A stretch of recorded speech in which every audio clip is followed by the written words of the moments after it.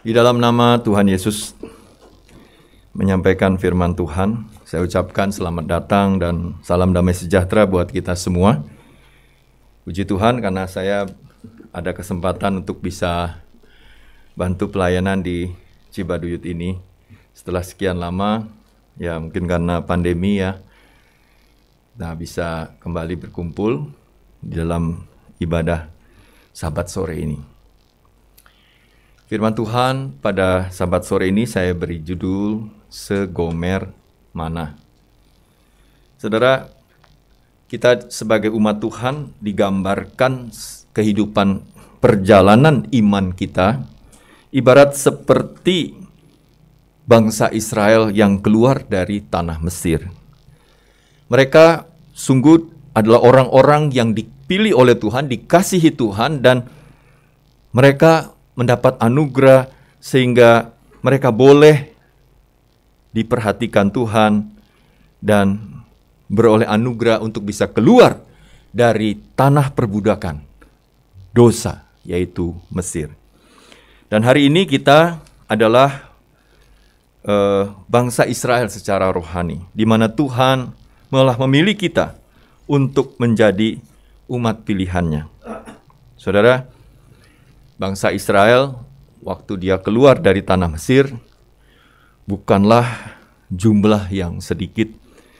Jumlahnya kalau diperhatikan di kitab Keluaran pasal 12 di situ dijelaskan ya di ayat yang ke-37 ya. Keluaran pasal 12 ayat 37 Kemudian berangkatlah orang Israel dari Ramses ke Sukot kira-kira 600 ribu orang laki-laki berjalan kaki, tidak termasuk anak-anak. Dan tentu di sini juga nggak disebutkan perempuan. Perkiraan kalau banyak orang memperkirakan, menafsirkan kira-kira 2 jutaan orang yang keluar saat itu di uh, dibawa keluar dari Mesir. Dalam perjalanan mereka harus ya dari negeri Mesir itu mereka harus uh, jalan yang mena- me- menuju ke tanah Kanaan itu seharusnya jalannya dekat ya tetapi mereka harus tempuh dalam jangka waktu yang sangat panjang yaitu 40 tahun. Mereka harus menjalani perjalanan selama 40 tahun, bukan waktu yang pendek.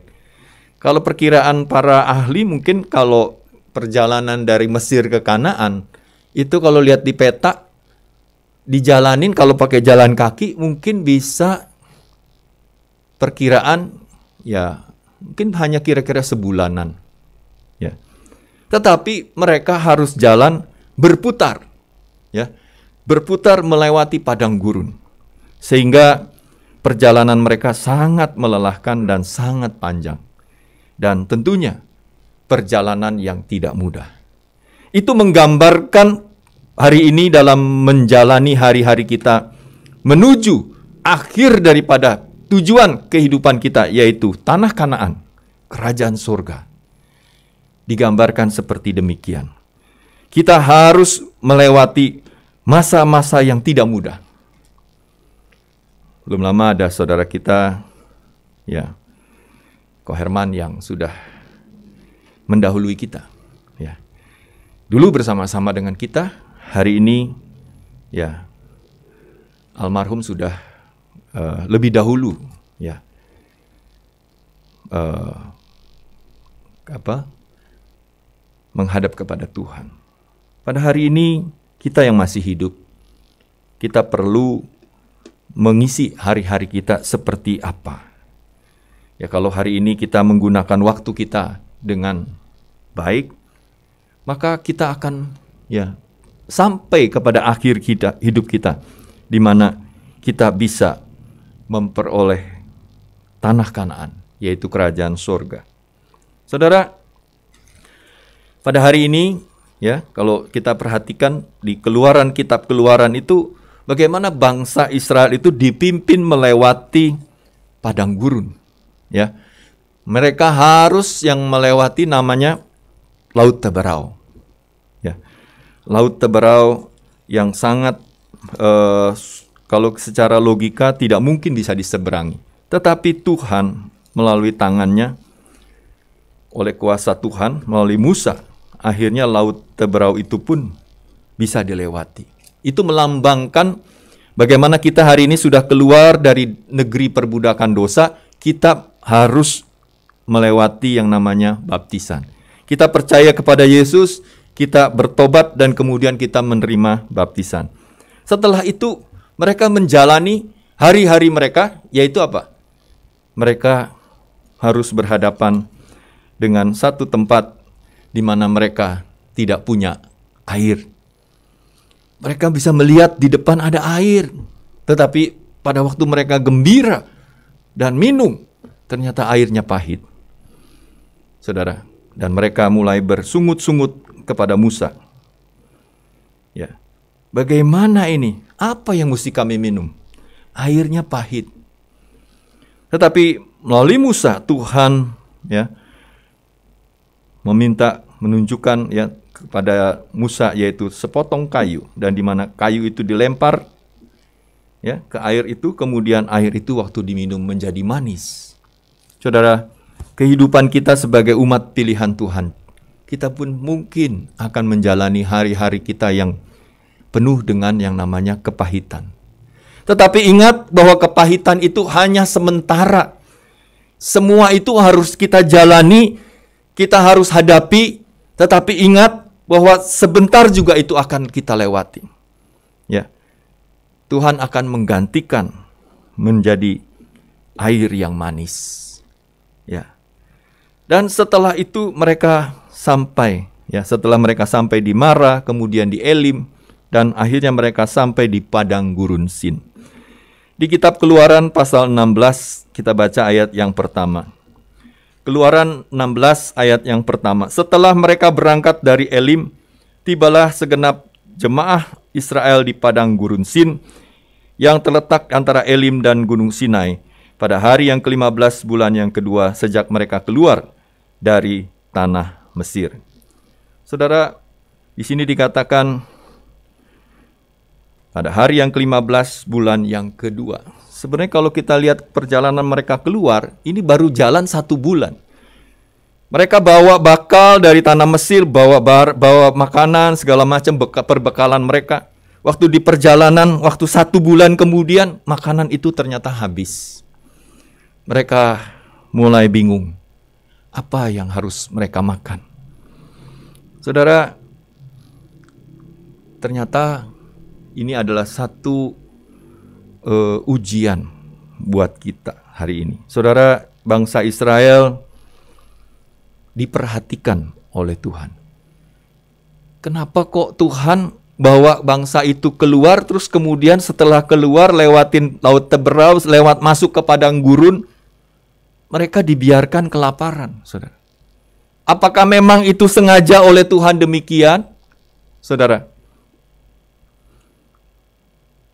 Yang pasti kita lihat di sini bangsa Israel bersungut-sungut. Lalu Tuhan ya mengatakan kepada Musa melalui Musa. Kita baca Keluaran pasal 16 ayat yang keempat. Keluaran 16 ayat yang keempat. Lalu berfirmanlah Tuhan kepada Musa, Sesungguhnya aku akan menunjukkan, menurunkan dari langit hujan roti bagimu. Maka bangsa itu akan keluar memungut tiap-tiap hari sebanyak yang perlu untuk sehari, supaya mereka kucoba apakah mereka hidup menurut hukumku atau tidak. Saudara,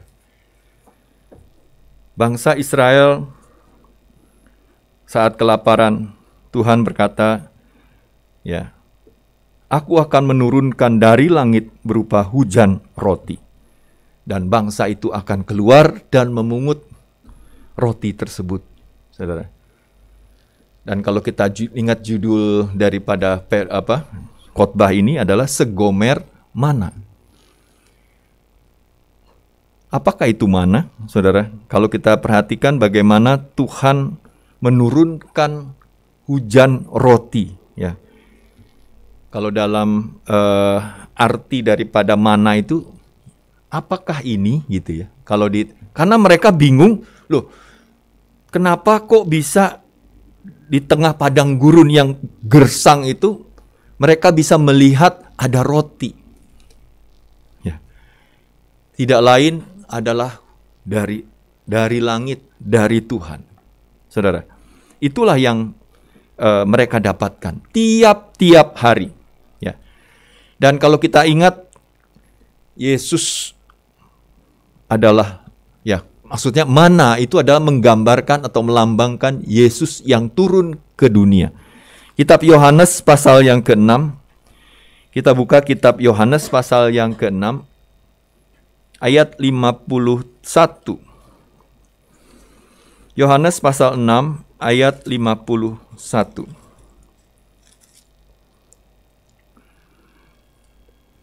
Yohanes pasal 6 ayat 51. Di sini dikatakan, Akulah roti hidup yang telah turun dari sorga. Jikalau seorang makan dari roti ini, ia akan hidup selama-lamanya dan roti yang kuberikan itu ialah dagingku yang akan kuberikan untuk hidup dunia. Jadi kalau hari ini saudara dan saya bisa menerima anugerah Tuhan sehingga kita bisa merasakan Tuhan di dalam hidup kita. Tuhan memberikan, dia adalah roti hidup yang turun dari sorga. Pada saat kita perjamuan kudus, dia firman Tuhan katakan, inilah tubuhku. Di mana pada saat dia mengangkat roti, ya, inilah tubuhku. Waktu dia mengangkat anggur, dia berkata, inilah darahku. Dan hari ini kita mendapat bagian dalam anugerah ini. Saudara, Tuhan berkata, barang siapa makan roti ini, dia akan hidup selama-lamanya. Artinya apa? Tidak mengalami kebinasaan. Walaupun tubuh fisik kita suatu saat kita akan meninggal, tetapi kita akan memperoleh keselamatan. Saudara, Tuhan juga berkata ya di dalam Yohanes pasal 6 ayat 63 perkataan-perkataanku itu ya rohlah yang memberi hidup daging sama sekali tidak berguna perkataan-perkataan yang kukatakan kepadamu adalah roh dan hidup. Yesus sendiri dikatakan dia adalah firman yang menjadi manusia ya. Dia rela turun ke dunia untuk menjadi uh, juru selamat kita, saudara. Dan di sini dikatakan perkataan-perkataan Tuhan. Jadi bisa digambarkan bagaimana mana itu juga bisa digambar selain menggambarkan Yesus Kristus, dia juga disampaikan digambarkan sebagai firman Tuhan yang kita hari ini terima. Saudara, waktu bangsa Israel melihat hujan roti dia dari langit, mereka ini apa ini? Apa ini? Karena kecil bentuknya ya, putih, bulat. Kalau dalam bah dalam bahasa Indonesia pasal 16 Keluaran pasal 16 Coba kita kasih tanda aja. Pasal 16 Keluaran 16 ayat 31. Warnanya putih seperti ketumbar ya. Rasanya seperti kue madu, seperti rasa kue madu dan digambarkan dia seperti uh, bulat bilangan pasal oh sorry, di, bulang, di kitab bilangan pasal yang ke-11 maaf di kitab bilangan pasal yang ke-11 ayat 7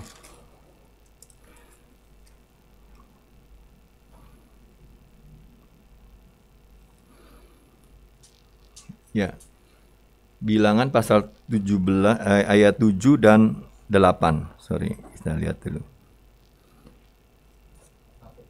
Pasal 11 sorry. Pasal 16 ayat 31 tadi kita sudah lihat uh, sebentar. Di sini nggak terlalu jelas ya kalau digambarkan uh, saya mau menunjukkan bahwa dia itu kalau dalam bahasa Indonesia seperti sisik. Ya kalau dalam bahasa Inggris disebutnya small round thing jadi bulat ya kalau dalam bahasa Indonesia mungkin seperti sisik-sisik apa ya? Sisik ikan gitu. Ya sisik ikan sih bentuknya kayak bulat juga ya, karena kita kadang nggak nggak bisa ngelihat secara ini ya. Jadi eh, digambarkan seperti itu. Dan seperti damar, kelihatan seperti damar bedolah, seperti getah gitu ya. Dan halusnya seperti embun beku kalau digambarkan di ayat 14. Dan kalau di kitab Mazmur pasal 78 ayat yang ke-24 Mazmur 78 ayat 24 disebut gandum dari langit.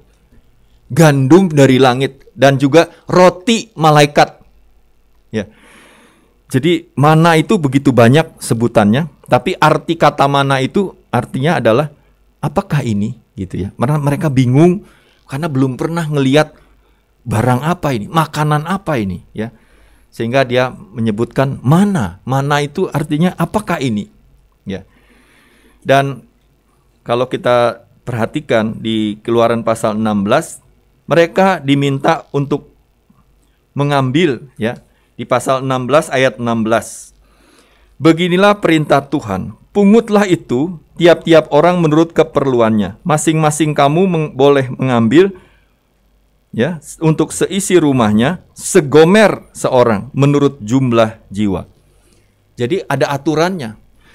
Padahal mana itu turun begitu banyak di atas tanah ya dekat perkemahan mereka. Pabalatak begitu banyak sekali mereka. Hujan begitu pak. Coba bayangkan 2 juta orang makan dikasih makan berapa banyak roti yang harus disediakan, saudara. Bukan hal yang uh, mudah ya. Tetapi Tuhan memberikan itu kepada mereka. Dan seharusnya Tuhan memberikan roti yang begitu banyak, ya udah diambil aja Tuhan. Diambil sebanyak-banyaknya. Kalau bisa disetok dulu di rumah ya supaya jangan jangan kita repot-repot lagi. Efisien dong. Ya, kita berpikirnya begitu. Taruh kita kumpulin itu mana di depan kemah sebanyak-banyaknya kita taruh di dalam rumah, di dalam kemah, simpan sebanyak-banyaknya. Itu jalan pemikiran kita. Tapi Tuhan ngatur tidak demikian. Pungut tiap-tiap orang menurut ke, dikasih takeran, Saudara. Takerannya itu adalah gomer. Ya. Gomer itu ukuran kalau dibuka di kamus, cari di kamus mungkin kita akan dapati bahwa satu gomer itu kurang lebih 3,6 liter. Kalau ukuran gomer yang isinya cairan mungkin bisa sampai 3,6. Tapi kalau dia berupa benda padat, nggak nyampe. Mungkin sampai 2,2 liter saja. Ya, 2,2 liter. Jadi, ya satu gomer kira-kira 2,2 liter saja, saudara. Dan kita lihat satu orang cuma boleh ngambil sebanyak itu, satu gomer saja. Kalau kita kita pikir kalau orang yang makannya banyak, ya sama orang yang badannya kurus tentu makannya sedikit apalagi perempuan ibu-ibu apalagi anak-anak ya. Kan satu orang boleh ngambil satu gomer. Kalau di dalam satu keluarga itu papa mama anak dua berarti empat gomer boleh dibawa dan saat itu mereka kalau berpikir secara logika ini makanan begitu banyak roti di di atas tanah yang mereka harus pungut. Ya sebanyak-banyaknya lah. Ya, simpen jadi stok. Nggak usah besok pagi harus keluar. Kalau bisa stok satu bulan makan tinggal dari rumah. Nggak usah keluar dari kemah. Nggak perlu, saudara. Tapi Tuhan ngatur tidak demikian. Satu orang, satu gomer. Kalau lebih, kamu simpen banyak-banyak, taruh di dalam kemah, akibatnya apa? maka dia akan berulat. Coba kita baca. Ayat 19. Kita kita baca dari ayat 17 saja. Demikianlah diperbuat orang Israel, mereka mengumpulkan ada yang banyak, ada yang sedikit. Ketika mereka menakarnya dengan gomer, maka orang yang mengumpulkan banyak tidak kelebihan, dan orang yang mengumpulkan sedikit tidak kekurangan. Tiap-tiap orang mengumpulkan menurut keperluannya. Musa berkata kepada mereka, seorang pun tidak boleh meninggalkan daripadanya sampai pagi. Tapi ada yang tidak mendengarkan Musa, meninggalkan daripadanya sampai pagi. lalu berulat dan berbau busuk. Maka Musa menjadi marah kepada mereka. Saudara, mereka dikasih tahu ya. Satu gomer simpen naruh di rumah ya. Besok ambil lagi. Ya. Kalau diambil lebih, di stok nggak habis sampai besok lagi itu akan berulat. Berbau busuk. Ada aja yang nggak taat, Saudara. Tidak mau dengar firman Tuhan. Saudara. Dan kalau kita perhatikan ya, bagaimana aturan Tuhan ini ya, tiap pagi mereka keluar dari kemah mereka. Pengajaran apa yang bisa kita ambil dari sini, saudara? Berkat Tuhan itu cukup buat kita untuk kita bisa nikmati. Ya. Untuk kita bisa syukuri. Kadang-kadang kita merasa kok hidup saya begini ya. Sial banget usaha kok cuman gini-gini doang. Kerja cuma dapat segini doang. Saudara. Dan hati kita kadang-kadang kita ngelihat orang lain begitu enak. Kita iri sama orang, saudara. Dan kita tidak pernah merasa bersyukur, tidak pernah merasa cukup. Saudara.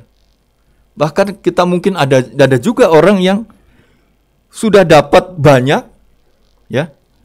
Tapi dalam hati tidak pernah puas, Saudara. Sudah punya toko satu, punya toko dua, pengen punya toko dua, pengen tiga, pengen empat, pengen lima. Kalau bisa punya pabrik, bukan cuma satu, punya dua, punya lima, dan seterusnya. Hati kita tidak pernah merasa puas. Tuhan, saya pengen punya masa depan yang baik. Ngumpulin dari sekarang. Saudara, ngumpulin selagi saya masih ada tenaga, Selagi saya masih ada waktu, selagi saya masih sehat, saya akan mati-matian berusaha. Dan sungguh kadang-kadang orang lupa banyak yang dia korbankan. Tenaganya, kesehatannya mungkin dia dikorban. Mungkin waktunya. Sampai-sampai hari sabat pun mohon maaf Tuhan.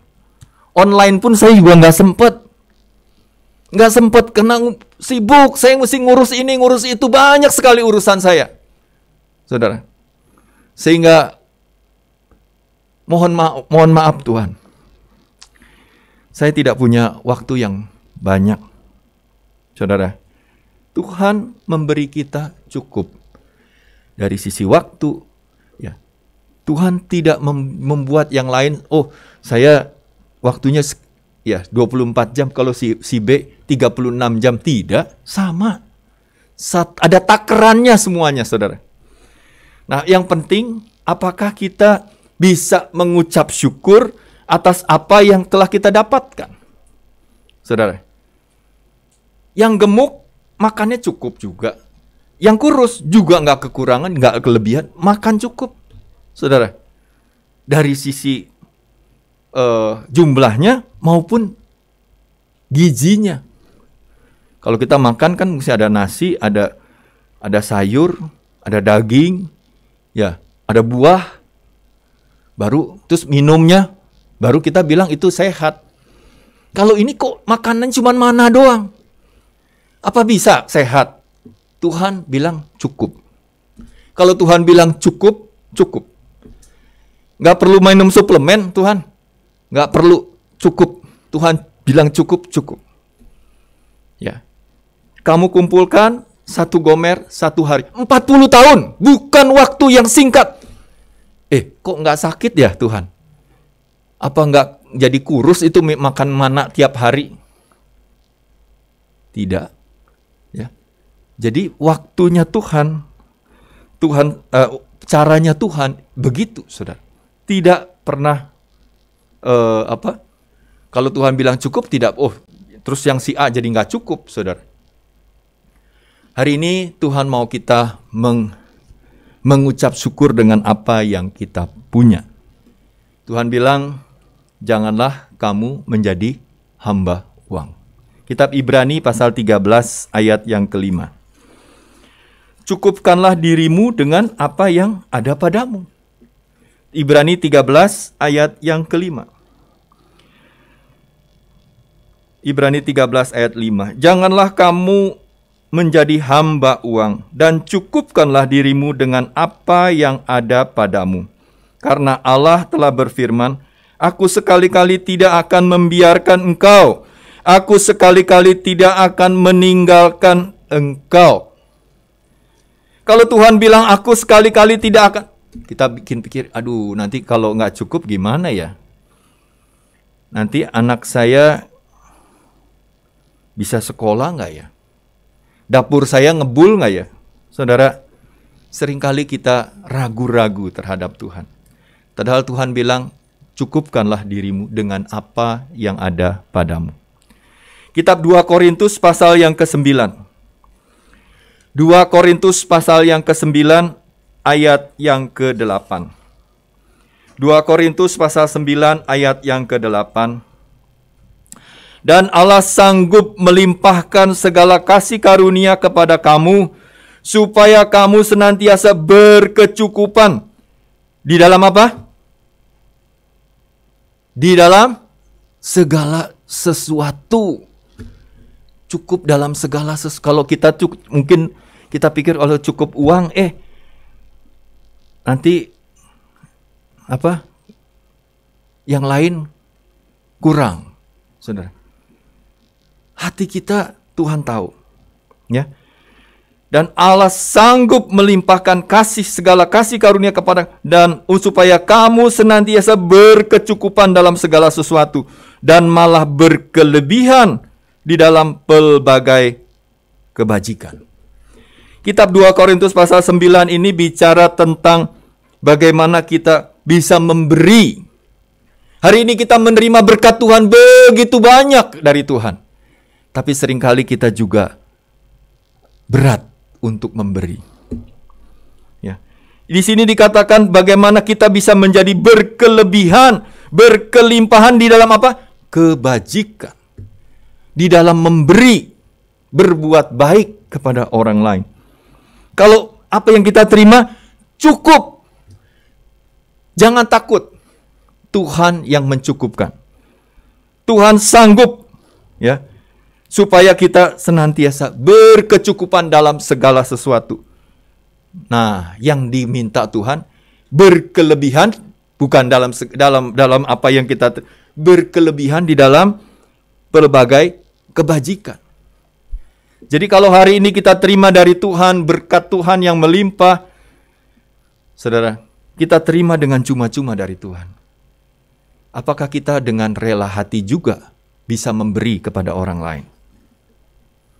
bayar, membayar atau memberi perpuluhan, persembahan perpuluhan kepada Tuhan. Atau kita mikir-mikir, berat ya.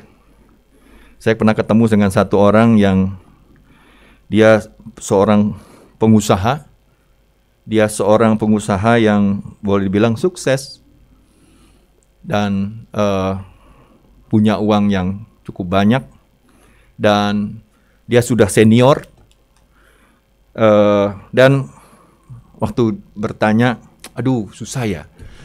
Firman Tuhan itu susah untuk dijalankan. Kenapa? Ya saya pengen menjalankan perpuluhan. Tapi 10% itu banyak loh, dia bilang. Saya waktu saya dia sudah tua. Waktu saya masih muda, saya usaha, saya jalanin pabrik. Saya suruh ngasih persembahan perpuluhan. Aduh, nggak bisa. Terlalu berat. Satu persen aja susah, apalagi harus sepuluh persen.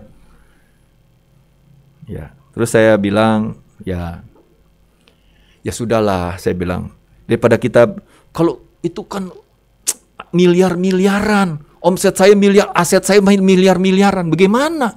Masa kasih perpuluhan begitu banyak? Saya bilang udahlah, yang yang sudah sudah nggak usah terlalu dipikirkan. Ya, yang penting hari ini lah, hari ini dia sudah tua. Punya rumah yang besar, punya mobil lebih dari satu, ya. Dia juga ya punya anak, anaknya yang nerusin pabriknya dan tinggal diam di rumah. Usia sudah tua. Duitnya dari mana? Penghasilan dari mana? Mungkin dia punya uang, taruh deposito, dia makan bunganya tiap bulan, ya. Nah, saya bilang gini, nggak usah pusing, ya Pak. Dari bunganya, ya kita bayarlah. Belajar untuk memberi. Aduh, yang kemarin yang yang udah-udah saya bilang nggak perlu dipikir. Yang penting hari ini. Tapi dia mikir lagi, aduh, kayaknya susah ya, susah sekali. Jadi akhirnya, ya udah terserah Tuhan deh. Saya nanti kalau menghadap Tuhan juga kalau ditanyain, ya terserah Tuhan. Tuhan masih mau timbang-timbang, mau timbangin, mau nimbang saya terserah katanya. Saudara, mungkin kalau dia makan uang dari deposito mungkin sama dengan orang terima gaji. Ya. Ya. Kalau kita hari ini ya dari dari kita masih kecil, dari kita masih muda, apakah kita mulai belajar untuk memberi? Ya. Selagi kita masih ada kesempatan. Ya. Apakah Tuhan butuh uang kita? Enggak. Enggak butuh. Semua punya Tuhan. Apa yang kita miliki hari ini semua punya Tuhan dan semua dari Tuhan. Saudara, dia tidak butuh uang kita, saudara. Yang Tuhan mau lihat apa? Ketaatan kita kepada firman Tuhan. Memang tidak mudah ya. Tidak mudah, tapi kita mau belajar.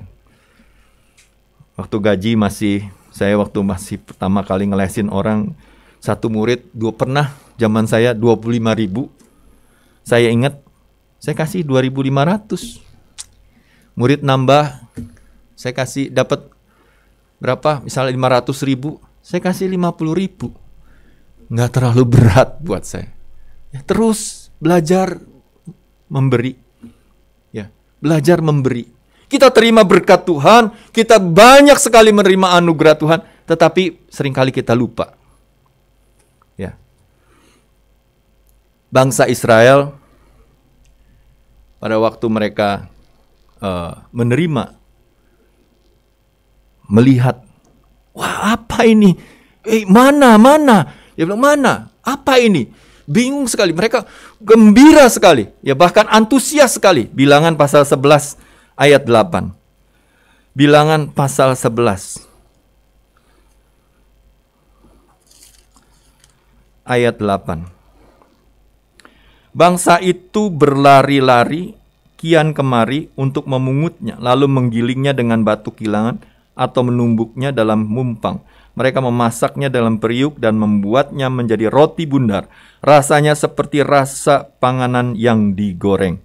Dan apabila embun turun di tempat perkemahan pada waktu malam, maka turunlah juga mana di situ. Saudara, waktu bangsa itu melihat mana, wah, Pagi-pagi mereka melihat mana begitu banyak sekali. Dan mereka berlari-lari ambil. Tetapi ingat, ada jatahnya, ada batasnya. Satu gomer, nggak bisa lebih. Itu aturan dari Tuhan. Besok Tuhan sediain lagi. Dalam doa Bapa kami, berilah kepada kami makanan kami yang pada hari ini, makanan kami yang secukupnya. Our daily bread daily kita ambil, daily kita dapatkan. Ya, tiap hari ada berkat Tuhan. Kita nggak mau ya tiap hari pengennya, wah kalau bisa ya sebanyak mungkin sekuat tenaga kita kita akan terus kalau bisa nonstop dari Minggu, Senin, Selasa, Rabu, Kamis, Jumat, Sabtu, Minggu terus nonstop. Kalau bisa nggak ada waktu jeda 24 jam sehari, 7 hari dalam seminggu. Terus kalau saya hari ini omset 50 juta sehari, kalau hari Sabtu, hari Sabat kita off, nggak ada penghasilan. Bodoh banget. Logikanya di mana? Mana bisa, saudara? Seringkali kita dikuasai oleh hati kita waktu kita masih belum mengenal Tuhan. Ya. Bangsa Israel Waktu ketemu, mana? Dia begitu antusias. Tapi lama-kelamaan, eh, mereka bosan. Ya. Bilangan 11 ayat yang keempat. Orang-orang bajingan yang ada di antara mereka kemasukan nafsu rakus dan orang Israel pun menangislah pula serta berkata, Siapakah yang akan memberi kita makan daging? Kita teringat kepada ikan yang kita makan di Mesir dengan tidak bayar apa-apa, kepada mentimun dan semangka, bawang prei, bawang merah dan bawang putih. Tetapi sekarang kita kurus kering, tidak ada sesuatu apa pun kecuali mana ini saja yang kita lihat. Kita ini kurus kering, tidak ada satu apa pun, saudara. Mana tiap hari kita terima, tapi mereka merasa saya nggak dapat apa-apa. Secara jasmani mungkin kita Tuhan, ya nggak cukup. Saya nggak merasakan anugerahmu. Padahal Tuhan memberikan kita berkat, tapi kita tidak merasa itu berkat Tuhan. Yang kita rasakan apa? Saya ini kurus kering. Mana aku nggak dapat apa-apa. Secara rohani, mungkin kita datang ke gereja, kita dengar firman Tuhan, hati kita berkata, saya datang ke gereja buat apa? Nggak dapat apa-apa saya. Saudara.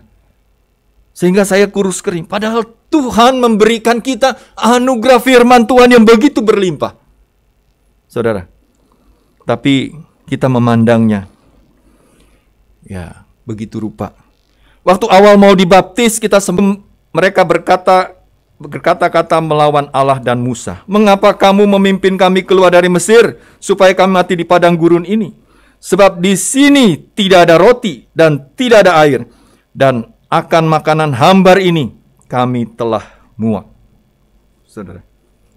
Makanan hambar. Tadi kita dengar rot mana itu manis ya, seperti madu ya, kue madu tetapi waktu dimakan oleh orang-orang Israel pada mereka nggak ngerasa manis. Dulu ia semangat, saudara. Cari, ah kumpulin. Mana, mana. Saudara, begitu semangat, begitu antusias. Tapi mulai berjalannya waktu. Mulai teringat lagi kepada Mesir. Teringat lagi betapa baiknya. Ya, kalau kita hidup terlalu ya bergaul dengan dunia ini dalam arti kita hidup jauh dari Tuhan. Kita hanya mengandalkan otak pikiran kita. Kita mengandalkan kemampuan kita. Maka yang muncul adalah waktu kita dengar firman Tuhan. Aduh, saya muak, saya bosan, saudara. Inilah yang kita rasakan, saudara. Kata firman Tuhan demikian. Ya. Padahal 40 tahun Seharusnya mereka makan mana dan mereka bisa menikmati makanan itu. Harusnya. Tetapi masalahnya, apakah ada nafsu makan dalam diri kita? Mungkin kita sudah biasa makan di luar, makan yang manis-manis. Pas masuk ke gereja, menikmat, ada, nggak nafsu. Udah nggak nafsu lagi. Dengar firman Tuhan, ah, bosen. Itu lagi, itu lagi. Saudara, hati kita tidak lagi begitu gembira menyambut firman Tuhan. Ada doa pagi, ya kita juga ya dari ya mungkin kalau kalau saudara punya waktu sengaja khusus punya doa pagi ya silahkan saja saudara bisa doa pagi sendiri di rumah. Tapi kalau gereja ngadain ada zoom doa pagi, masalahnya kita mau bangun apa tidak? Mungkin kita bilang, oh saya ada kok doa pagi sendiri. Saya baca Alkitab sendiri. Ya bagus, puji Tuhan. Tapi kalau saudara mungkin ada kesulitan, gereja menyediakan. Ada Zoom doa pagi, mari kita ikuti. Saya lihat cuma ada 20-an lah kira-kira. Dari tiga gereja cuma 20-an orang. Mungkin, yaitu tadi jemaat kita mungkin sudah punya waktu doa masing-masing. Ya, sehingga Eh, nggak uh, perlu lagi lah ikut zoom doa pagi. Ya. Tapi kita juga mungkin juga yang kedua, mungkin mereka telat bangun. Ya. Mereka bangun wah udah jam segini, waduh saya mesti pergi mandi, kemudian harus pergi cepat-cepat, urusan masih banyak. Nggak sempat doa, nggak sempat baca Alkitab, langsung berangkat. Saudara, kata firman Tuhan, di di Keluaran pasal 16 itu mereka pungut mana harus pagi-pagi. Manakala kesiangan, ya, embun itu menguap, ya, Mereka cari pun mereka tidak akan dapat. Jadi ada waktunya di mana matahari panas sudah keluar, ya. Mereka mau pungut mana, mereka tidak akan mendapatkan lagi. Saudara, itulah aturan dari Tuhan. Jadi kalau pagi-pagi mereka tidak mau bangun, ya, mereka hanya ber, ber oh, nanti ajalah. Pas bangun kesiangan, matahari sudah keluar, pengen ngambil mana? Loh, sudah mencair, saudara. Mananya? Itu aturannya firman Tuhan. Ya, mereka harus pagi-pagi memungutnya. Jadi bukan menurut maunya mereka, menurut waktunya mereka. Saudara, hari ini kita diingatkan oleh Tuhan. Mari ya kita menggunakan waktu pagi kita untuk bisa bersekutu dengan Tuhan. Ada ayat firman Tuhan yang uh, Lukas kitab Lukas sebentar ya, saya lupa.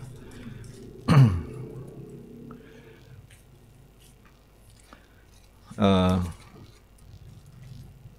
saya ada catat cuma saya lupa di Lukas pasal 21 ayat 38. Lukas pasal 21 ayat 38.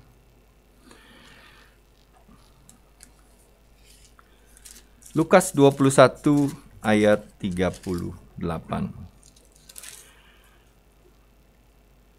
Dan pagi-pagi semua orang banyak datang kepadanya di dalam bait Allah untuk apa? Mendengarkan dia. Jadi bagaimana orang-orang pada waktu itu mereka begitu antusias. Orang banyak datang pagi-pagi untuk kepada siapa?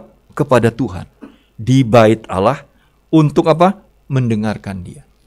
Apakah kita menggunakan waktu ini, waktu pagi untuk bisa memulai hari kita? dengan berdoa, dengan membaca firman Tuhan, mendengarkan suara Tuhan. Saudara, tadi dikatakan Tuhan memberkati kita, memberikan kita berkelimpahan. Tapi sering kali hati kita tidak pernah cukup. Selalu kurang. Ya. Padahal ada firman Tuhan, cukupkanlah dirimu dengan gajimu. Gaji saya kecil Tuhan, mana cukup. Masa harus dipotong perpuluhan lagi? Habis satu. Nanti saya makan apa? Saudara. Pernah ada kejadian yang baru bulan April kemarin di berita online saya baca ada orang ya yang ditangkap eh, karena merampok bank. Setelah dicek ternyata apa? Judulnya gaji pegawai bank itu pegawai ini yang merampok ini pegawai bank. Dia bagian HRD di bank swasta dan dia dikatakan gajinya 60 juta sebulan. Coba. Gajinya 60 juta sebulan tapi dia ngerampok bank. Kenapa ya kita pikir kok apa nggak cukup? Coba Tuhan kalau gaji 60 juta itu gajinya saya. Aduh, pasti saya gunakan baik-baik itu uang. Pasti saya kasihlah persembahan, kasih ke orang orang yang kekurangan saya bahaya kasih. Wah. Tapi kenyataannya saudara, kok bisa ya? Gaji 60 juta sebulan masih ngerampok. Saudara. Emangnya kurang? Nggak pernah cukup, saudara. Hati kita penuh banyak keinginan. Rupanya usut punya usut, dia punya utang sama temennya miliaran. Mungkin kalau nggak salah satu setengah miliar. Dan dia janji mau bayar. Ya, Waduh, tapi nggak punya uang, udah ditagih-tagih. Bagaimana caranya? Ya udah, dia lihat dia sering nonton di apa film-film begitu. Oh, supaya bisa ini gini caranya. Oh, akhirnya apa? Dia beli soft gun, dia beli pistol yang kayak pistol angin gitu. Kemudian dia berusaha, dia atur strategi, dia lihat yang mana nih bank yang agak sepi. Dan akhirnya dia coba untuk ngerampok sudah. Waktu masuk, eh malah dia yang dilumpuhkan oleh satpam. saudara. Bukannya dapat uang, malah mungkin dia akan dipenjara. Ancamannya 10 tahun. Saudara, hati kita manusia kadang-kadang kita pikir mana cukup. Ya, tapi seperti tadi Bapak itu, ya, aduh, bagaimana satu persen itu gede loh dia bilang. Oh, ini harus 10 persen nggak mungkin lah. Itu firman Tuhan kayak nggak bisa dijalanin deh. Saudara, apa benar demikian? Tuhan ngasih firman Tuhan itu memang begitu berat sehingga tidak bisa dijalankan. Saudara. Waktu gereja Cut Mutia mungkin dua minggu yang lalu ya saya kawan. Cut gereja Bekasi, Cut Mutia. Itu kan mereka lagi renovasi gereja. Saya diberitahu oleh diakan Pinsar, diakan Petrus. Ini kita tuh tekor ya. Bangun, bangun, bangun. Eh, sampai ngutang cepet tiau. Coba bayangin. Ngutang cepet tiap belum bayar sama kontraktornya yang bangun, yang renovasi. Waduh, sampai minta tolong, nih maaf ya saya ini bakalan telat bayarnya mesti ya mundur-mundur lah gitu. Nggak tahu nih gimana ini. Ya kita di, saya diberitahu gimana ya kita bantu doa lah. Ini mesti masih ada utang 100 juta. Itu dua minggu yang lalu saya dengar. Eh, seminggu kemudian dia akan Petrus bilang, puji Tuhan, ada orang yang mau ngasih setelah dia tahu, ini 100 juta masih utang sama kontraktor, dia lunasin itu, saudara. Dia yang bayar 100 juta. Kok mau ya? Kok bisa ya? Uang 100 juta bukan uang sedikit loh.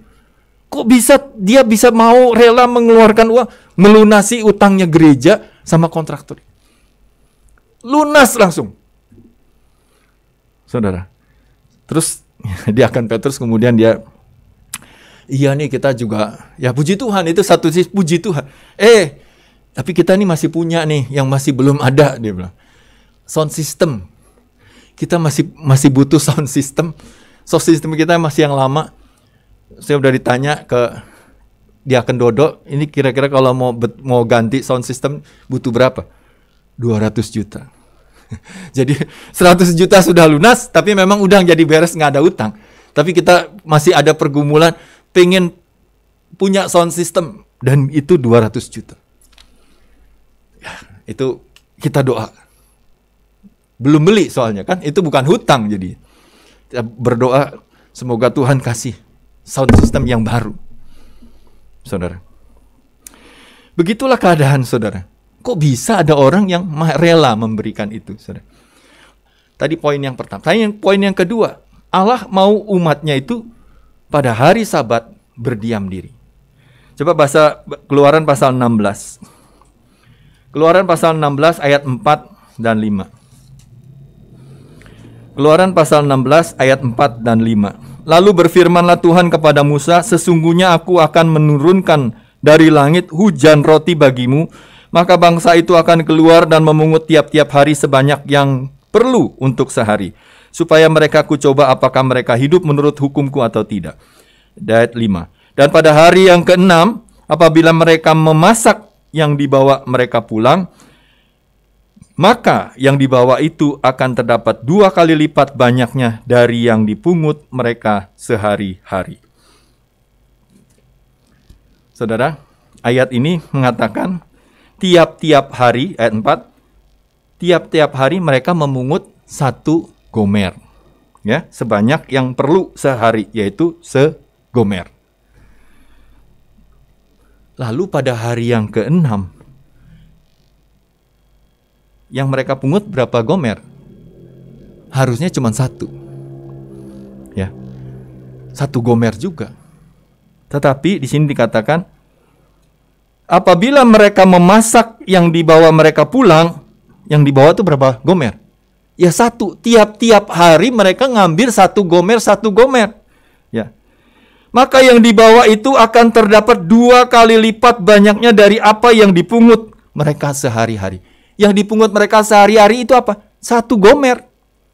Loh, kok bisa? Saya uh, dengar khotbahnya penatua Kehensyung ya ini uh, umumnya kita melihat di ayat yang lain ya. Kalau lihat di ayat yang lain, ayat 22. 22. Dan pada hari yang keenam, mereka memungut roti itu dua kali lipat banyaknya. Dua gomer untuk tiap-tiap orang. Dan datanglah semua pemimpin jemaah memberitahukannya kepada Musa. Tuhan memerintahkan murid kepada umat Israel supaya mereka tiap hari ngambil satu gomer satu gomer. Lah hari yang keenam mereka juga nyiapin satu gomer. Tapi pada waktu mereka memasaknya, waktu mereka prepare, waktu mereka siapkan, ya, yang mereka bawa pulang itu, maka yang dibawa itu akan menjadi dua kali lipat banyaknya. Ini mujizat Tuhan. Mujizat Tuhan. Kalau mereka percaya, mereka akan lakukan hanya ngambil satu gomer. Walaupun hari yang keenam akan jadi dua kali lipat. Karena pada hari yang ketujuh, hari sabat, tidak ada turun mana. Sehingga mereka keluar pun mereka cari-cari nggak akan ada. Saudara. Mereka harusnya ambil satu gomer. Tetapi di ayat 22. Dan pada hari itu mereka memungut dua kali lipat. Jadi mereka yang memungut dua kali lipat. Mereka memungut masing-masing dua gomer. Besok hari sabat nggak ada turun mana. Kalau ngambil hari ini cuma satu, mana cukup. Besok jadi nggak ada nggak dapat nggak ada mana. Repot. Ya ngambillah dua gomer. Tapi Tuhan tidak marah. Musa pun mengizin. Tidak ada kata marah di sini. Tetapi sesungguhnya kalaupun satu gomer itu bisa Tuhan membuatnya menjadi dua kali lipat.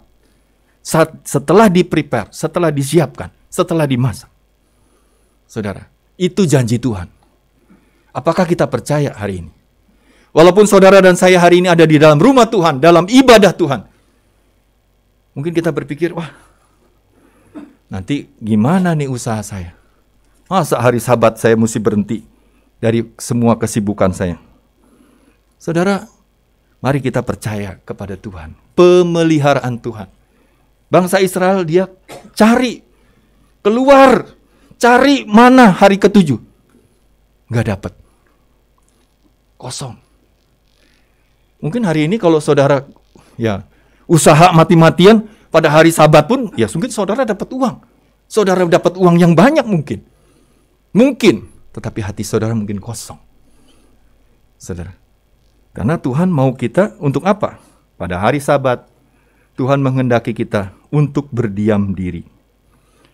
Berdiam diri, ya di ayat 2. Kalau kita baca ayat selanjutnya, ya. Di ayat yang ke-29, perhatikanlah Tuhan telah memberikan sabat itu kepadamu. Itulah sebabnya pada hari yang keenam ia memberikan kepadamu roti untuk dua hari. Tinggallah kamu di tempatmu masing-masing. Seorang pun tidak boleh keluar dari tempatnya pada hari yang ketujuh. Lalu beristirahatlah bangsa itu pada hari yang ketujuh. Hari sabat. Hari di mana Tuhan memberkati umatnya. Tuhan akan mencukupkan segala yang kita butuhkan. Ya. Dan Tuhan tidak pernah salah. Karena apa? Karena pada waktu hari ketujuh, mana itu tidak turun. Sehingga waktu orang Israel keluar, mereka nggak dapat apa-apa di depan. Di perkemahan itu tidak ada turun man. Biasa sehari keluar turun mana. Eh, ada man. Besoknya lagi ada mana lagi. Ya. Tuhan nggak pernah akan ada salah. Kalau pas hari ketujuh tidak ada mana, berarti itu hari sabat. Begitu terjadi setiap minggu, setiap minggu. Sampai kapan? Sampai 40 tahun. Sampai mereka di tanah kanaan. Mereka memegang hari sabat.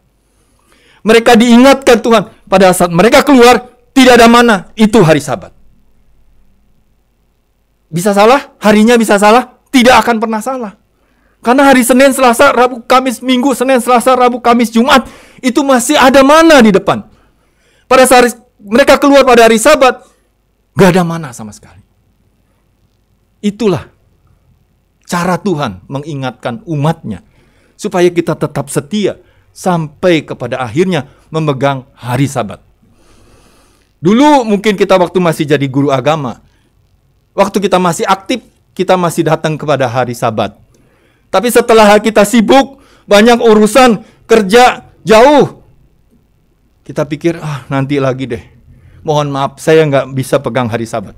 Kita off, tapi nggak tahu sampai kapan. Tidak pegang sabat.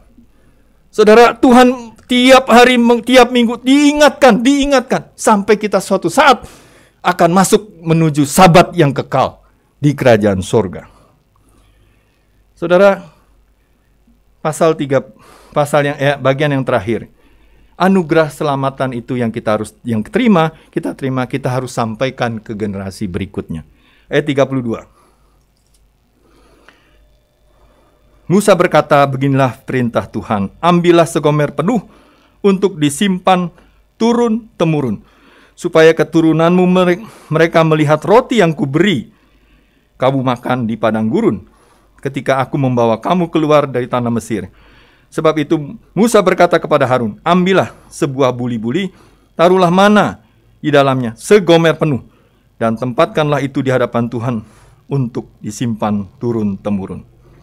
Dan seperti yang diperintahkan Tuhan kepada Musa, demikianlah buli-buli itu ditempatkan Harun di depan, di hadapan tabut hukum Allah untuk disimpan.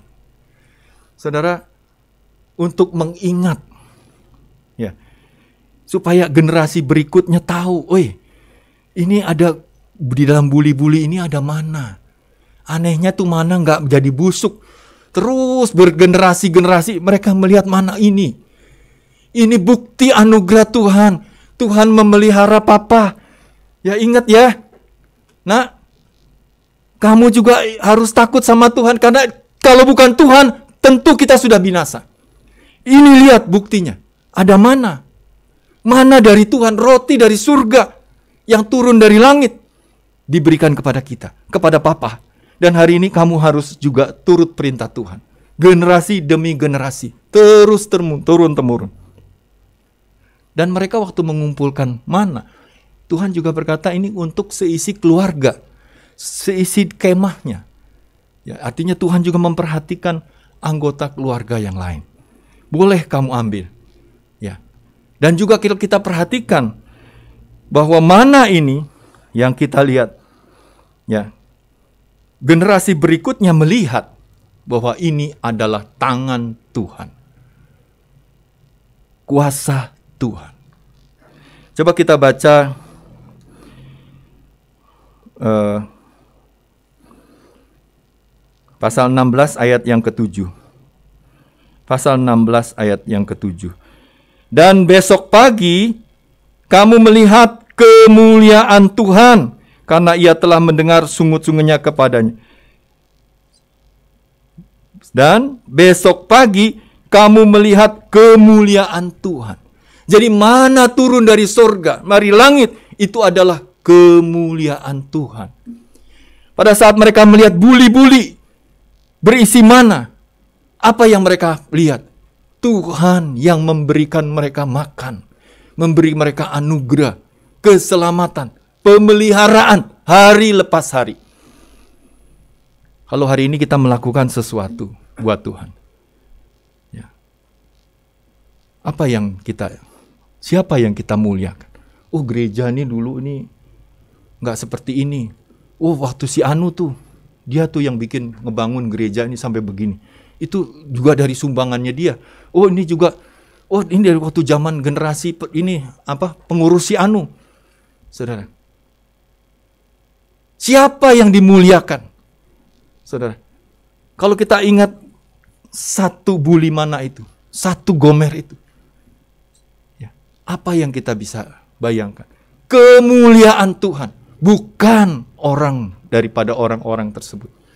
Memang Tuhan memakai orang-orang tersebut, tetapi bukan mereka.